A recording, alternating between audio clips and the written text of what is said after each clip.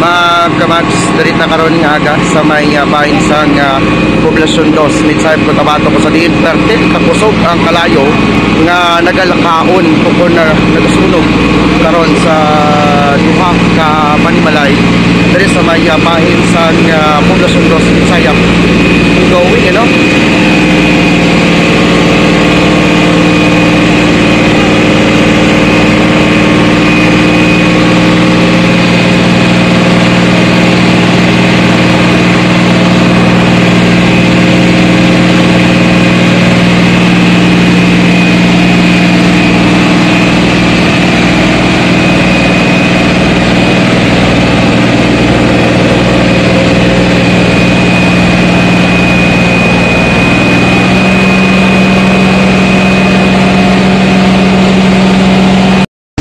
Natadiri karon sa poblasyon dos kung asa nahitabo ang uh, kining sunog nga matod pag kining maong panimalay gi panagiyahan sa uh, usa De La Cruz no? Og uh, antod karon wala pa gihapon na uh, nahuman kining sunog no?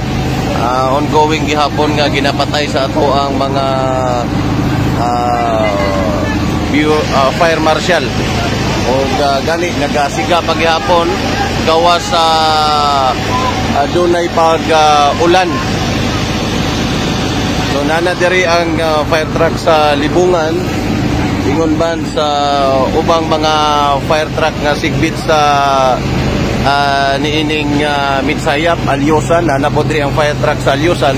O gani ato ang kaibaluan nga nagbangga ang uh, ang uh, fire truck sa De Rose o uh, usa ka ambulance atubangan sa uh, munisipyo sa Mitsayap tungod matod pang uh, padulong. Sabay unta padulong dinhi sa uh, maong uh, sunog.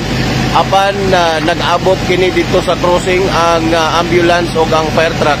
Sinugdan nga nagbangga kining uh, duha. Uh, swerte usab nga walay uh, uh, grabihang naangol sa maong uh, panagbangga. So kaganihan nakita nato anaapod si uh, Mayor uh, Rolly Sakdalan.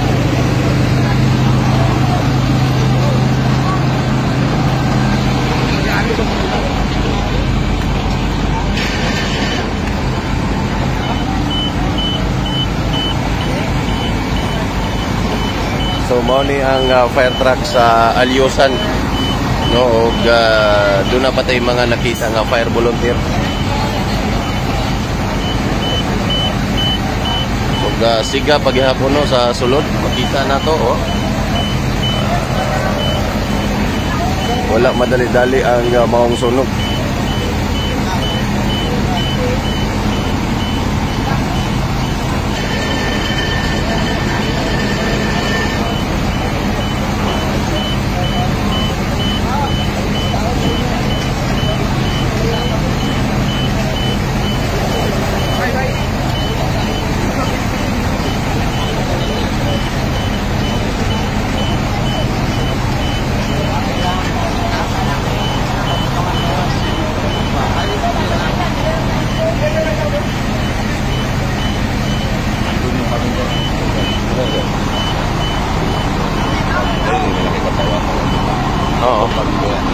Ah, si Dani? Kay Dani?